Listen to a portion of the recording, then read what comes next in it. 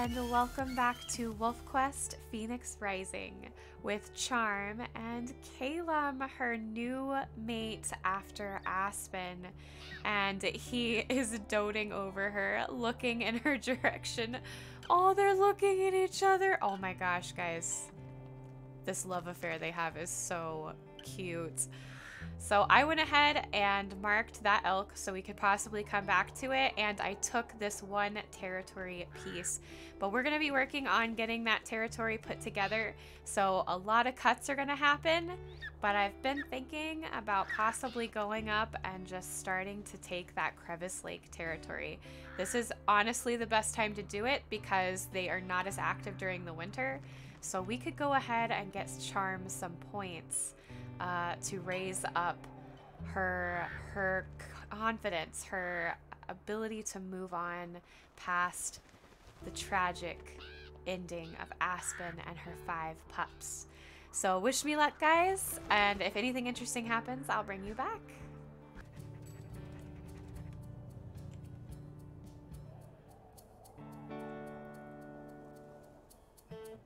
All right, so that is the first point for Charm. She has taken a small piece of Crevice Lake territory. It was really, really low. I wanted to start with that one because I think she could sense that it wasn't very strong, and so she felt safe taking it. And so now she's going to see if she can't get enough courage behind her with Calum to take a couple more. And there's another one. So this one was 26%, just a little bit more, but she took it and she's getting braver and braver as we go. And one more, that is three. So this one was a little bit more. It was 36%, I think.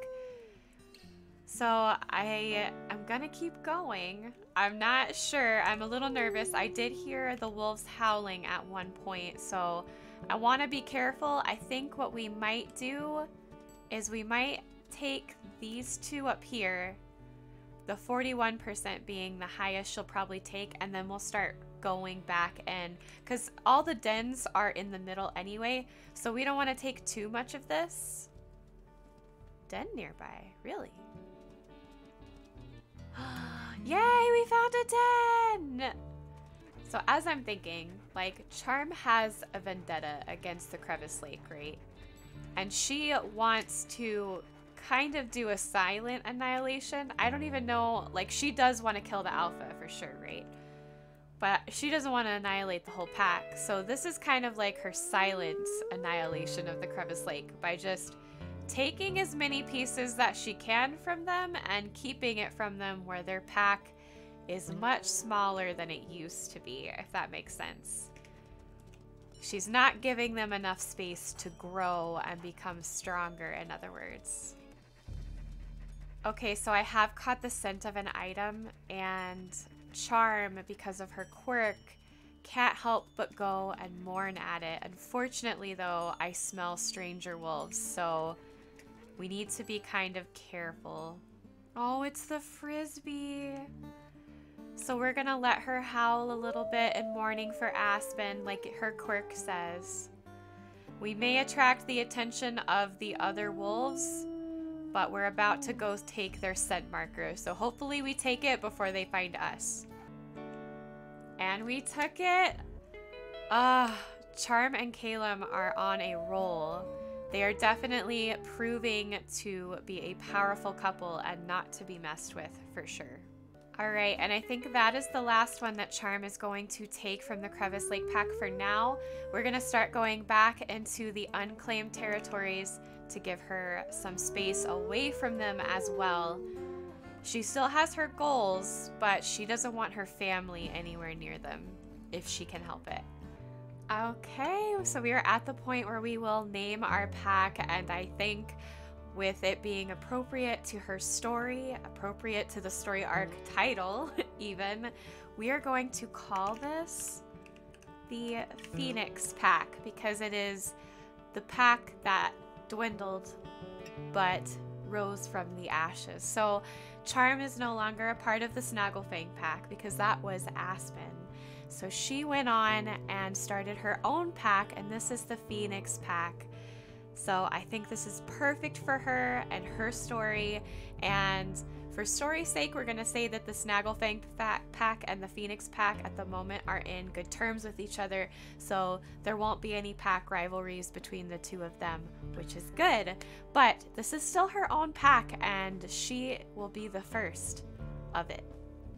Alright, I am taking Charm and Calum to a den that I think is perfect for them. It's far enough away from the Crevice Lake pack that I think Charm will feel safe, but it's close enough that she can keep her eye on them and keep pushing them back away from her family.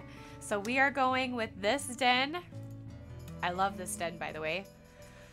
It can be a little complicated sometimes. Like I've seen pups try and climb the mountain and I'm like, pups, what are you doing? But I love this den. I think it's going to be perfect for her. And we are going to call it, um, we are going to call it Aspen Overlook in honor of Aspen as a way that he is watching out for Charm and and even Calum because I think that Aspen would want Charm to succeed. Okay, it's a birthday time and then puppies time. Let's do it. Okay, okay, okay. Few perks. All right, I definitely want Territorial Might. This is going to help her a lot in maintaining the hexes that the Crevice Lake pack uh, usually has. And if she can maintain that and keep them pushed back, that's good. that's more points for her, and it also keeps them from being a threat, like at all. I do love the idea of youthful prowess simply for the fact that pup sick pups are more likely to recover. So we will probably take that and then I think I'm going to give charm. She has a plus in stamina. She's just low on health. I think that's okay. We're going to give her a little more bite power so that she can do more damage against those Crevice Lake alphas potentially. Advance to age four. Oh my gosh, puppies are about to happen. Okay, okay, okay. Let's do this. How many? yes, she had seven. Oh my gosh, she had seven. Yes. Oh, I'm gonna cry, guys. I'm sorry. I don't know why I get so emotional about these things. But Charm, I wanted... I wanted to see her succeed. And I've already played a little bit of Dawn and Aurora specifically. And there's been awesome times and there's been struggles already. And I just want Charm to... I want them all to succeed. But I want Charm to succeed so bad. Seven pups. That is amazing. Okay, so I'm going to do a thing where for a whole rest of this episode, I am going to possibly not name them until I get a better gauge on their personality. So here we have, oh, so this is a little female. This is our fourth female right here. How many female? Oh my gosh, how many females do we have? Okay, so we've got three males and four females. Oh my gosh. Okay, let's see. All of our little girls are coming out first. Look at this. Oh, there's our little second female. We have a lot of lighter puppies in this litter, probably because Charm isn't too dark herself and Calum is a very light gray. Although, is his coat considered black? I know one of the gray coats is considered a black coat. So you guys let me know that in the comments below. And while you're down there, like and subscribe if you aren't already. okay. Let's get another look. So there's our little fifth female. Oh, look at you. Look at you. So there's our fourth male. Hello, baby. Oh, look, you're very hyper. And they're very hungry. Oh, Caleb's gonna feed. Look at you. You're so playful. Look at you. I'm just gonna say that like 50 times. Oh, Caleb's like, hey, they're beautiful. You did a good job. You did a great job. You made some beautiful babies. Look, he's already looking after Uh-oh. Uh-oh, we already have an escapee. Okay, so we already have a bold one. Yep. So 4F is going to be our bold one, I can already tell. So that's pretty cool. We're already getting some personality traits.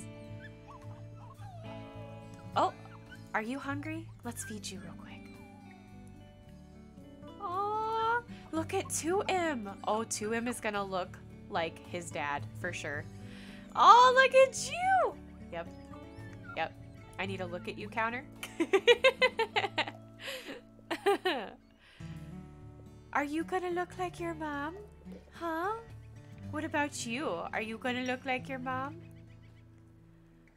So I think 5F is our dark one, which is kind of odd because, like I said, Charm and Caleb are both pretty light. And most of these pups are pretty light, so 5F is kind of the odd one out just a little bit. Let's see. 2M, are you... So you're not as social, it looks like. You are so pretty, though. Look at you. Okay, so who's hungry? 3M hasn't eaten anything. Oh, no! Come here, baby. Where are you? Come here. Come here. I can't regurgitate. Caleb, can you? He can. Here, let's let's go bother him. So Caleb is a little more distant. He's weird. Like, he's half distant, half not. So he comes in and he's like, hey, I want to be a part of it. And then he like, he like needs his space. He's really interesting in that way. Oh, he whined at me. He wants me to go with him. Interesting. So our affinity right now is 100%. I definitely think a small hunt would do us some good and taking a little more territory, but I want to make sure the pups have plenty of food. That's my big goal right now. Especially 3M looks like he didn't get a whole lot, so I want to make sure we've got plenty. Yeah, so Caleb's already leaving. That's why he whined. He wanted so badly for me to go with him, and we are, but I want to get the pups in a safe place first. Okay, so now that they're safe, we're gonna go after Caleb and see if we can't help him with a hunt. And he definitely reminds me of Kirby in some ways. He's really passionate about us, but he's still a little distant from the kids. That might play into his past a little bit because he's the same age as us, so what if maybe he possibly also had a litter or he had a family that he was close to and lost his family and so now Maybe he's distancing himself because he's afraid of that pain again, but he can't help but be loving, if that makes sense. Let's uh let's give him some kisses. And then we're going to go on that hunt. So this is what I love about being in this part of the map is all of the elk are pretty much in this area at the start and he's already chosen. Ow. That wasn't very nice. I think we could have done better, but I trust Caleb. There she goes. There they all go. Very nice. We might find a weaker one. Who knows? This one looks pretty weak. Fell behind. Oh yeah, this was a good one. This was better. Sorry, Caleb. But this was just a better one in general. One, two. Oh, we're bringing her down. This was too easy. It's so different playing on challenging. I can't say that enough. Accurate is so rough. It's weird though, because I will play on accurate with other wolves and be fine. And then I'll get that one wolf that just won't do well. And it, it, it almost tricks you because you have one good run through with accurate, like, ah, I can absolutely do this. This is great. This is going so well. Like Mikhail. I mean, he had some rough times too, but most of the time everything just kind of fell in his lap. But then Aspen, it was like everything that could go wrong went wrong. And we're seeing that a little bit with uh, Dawn and Aurora. Without spoiling too much, we are seeing that with them.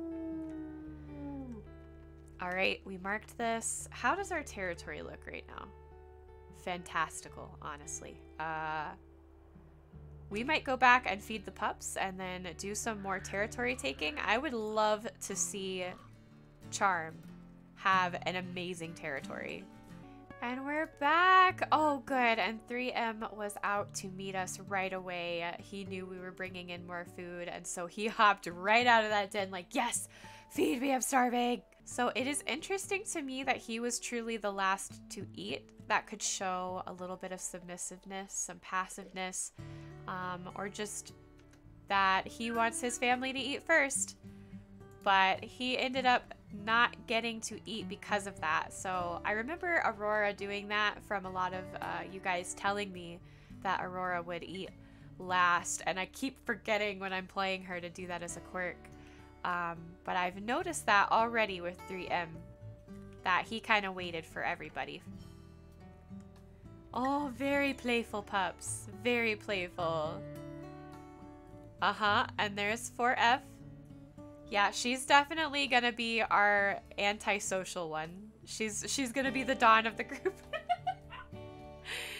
oh, are you the dawn of the group, love? Are you the dawn of the group? Uh, don't go too far. And meanwhile, 2M and 2F are snuggling in the den, so they might be our lazy ones because they didn't come out when we got back. So that's interesting. So I think what I'm going to do, I'm going to do something a little bit special here. I think I'm going to name the babies kind of as I see them. So I have two names already completely and totally picked out for uh, the pups. I just wanted to make sure I was giving them to the right pup. Um, but right away, oh, there is a name that I want to go ahead and give one of these babies. I'm just trying to decide whether to do it between 5F or 3F. Oh! So 5F is very playful, and she seems to stay pretty close to the family. Uh, 3F, I see a little bit of Caleb's attitude where she likes to be close, but she doesn't mind wandering off just a little bit. These are all my close babies. Now 3M is by themselves. Oh, now 4F is over here playing. Okay. Aww. So, I think I've decided for one. I am going to name 3F Wendy. And the reason for this is one of my amazing um, viewers, community members, uh, Jude uh, lost their grandmother, and her name was Wendy. So I am naming this one Wendy uh, as a way to uh, honor her. Uh, so, Jude, this one's for you, and I will do my very, very, very best to protect Wendy. Obviously, anything can happen, but I will do my best to protect Wendy. And I think 3F is a perfect pup for the name Wendy. All right, baby. So Wendy is the first to receive her name, and here she is. I have another name picked out for a male, but I kind of want to choose the right one I'm kind of looking at you 3M just because you are so sweet and kind of passive. I think it might fit you, but I also like 4M for it. So we're to we're to watch their personalities a little more and we'll name as we go. Okay, is everybody full? So 2M still hasn't eat is still in the den, children. Children. Children. There do you just not want to be with mom? Okay, 2M is coming out. I want to see more of you, child. I, uh, other than you being lazy, I don't know much about you. very, very cute. Very cute. oh, don't go too far, Wendy. I kind of like this whole like name as we go thing because we get to see their personalities come out. I love how playful Wendy is. She's a runner. She loves to run. Oh my goodness. 2F stays pretty close. 2M 2M is a hot mess. okay. All right, babies. Go ahead and go back in. We might actually could leave Caleb here while we take territory. There's really no reason for him to help us at all. Yeah, I think we're we're gonna do that. We're gonna tell the pups to go in, but we are gonna leave him here, and we're gonna go take some more territory. Oh, Caleb, you love to sing, and I love that you love to sing.